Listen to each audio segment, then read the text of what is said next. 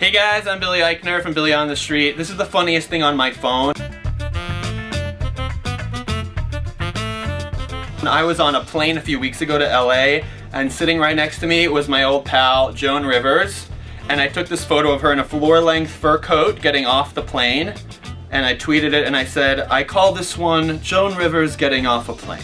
She was by herself, wheeling all her luggage on her own, and the flight attendants were carrying around her fur coat as if it was a newborn baby. I'm Billy Eichner, and this picture of Joan Rivers getting off an airplane is the funniest thing on my phone.